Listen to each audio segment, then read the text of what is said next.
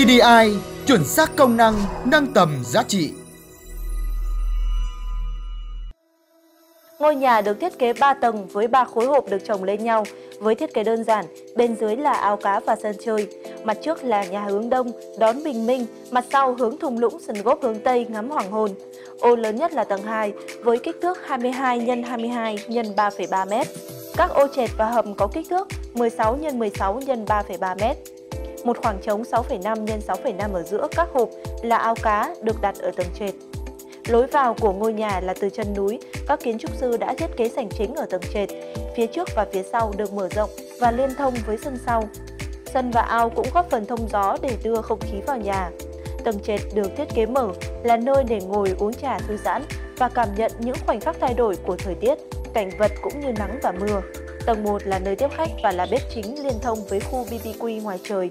Tầng hầm gồm hai phòng ngủ, có tầm nhìn ra thung lũng, khu vực quầy bar và hầm rượu, nơi mọi người có thể ngắm hoàng hôn và đàn cá bơi qua bể cá lớn. Tầng 2 bố trí phòng ngủ chính và ba phòng ngủ khác, với các góc nhìn được xuyên qua nhiều lớp khoảng trống tạo ra chiều sâu của không gian. Phía tầng thượng là khu vực cắm trại, nơi mọi người có thể trải nghiệm sương sớm, đi bộ xuyên từ núi xuống thung lũng và quay trở lại. Điều này cũng tạo ra không gian đệm hoặc ranh giới mờ giữa không gian trong nhà và khung cảnh bên ngoài.